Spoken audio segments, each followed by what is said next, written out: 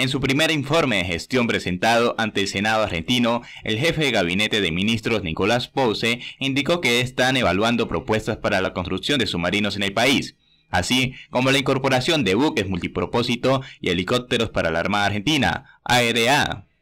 En cuanto a los submarinos, se están evaluando varias ofertas para la construcción de tres unidades de la clase Scorpion o clase 209. Asimismo, se considera la posibilidad de adquirir un submarino de transición, los plazos para la incorporación de estos sistemas de armas aún están siendo discutidos.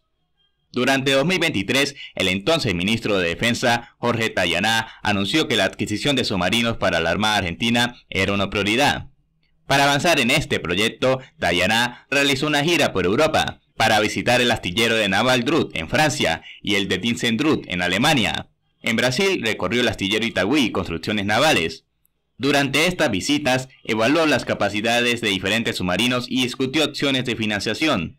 Además, se encuentra en proceso de evaluación la posible adquisición de un buque anfibio, ya sea del tipo LST o LCD, Cabe recordar que a principios de 2023, Dayaná, junto con el gobernador de la provincia de Buenos Aires, Axel Kicillof, firmaron un acuerdo para la construcción de diversos medios navales por parte de los astilleros Tannador y Río Santiago, con el fin de recuperar capacidades operativas de la Armada.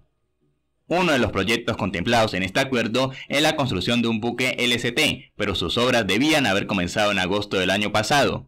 Este buque estaría destinado a proporcionar apoyo y asistencia a la población en situaciones de emergencia o desastres naturales.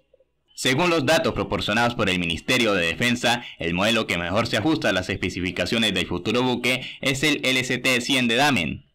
En relación con la incorporación de helicópteros para la Armada, el exministro Tayaná había firmado una carta de intención para la adquisición de 8 helicópteros AW-109, que vendrían a reemplazar al único AS-555 SNFN cooperativo de la primera escuadrilla aeronaval de helicópteros, pero hasta el momento no se avanzó en este sentido. Y bueno, guerras, hemos llegado al final. No olvides seguirnos y dejarnos un buen like. Hasta la próxima y que Dios los bendiga.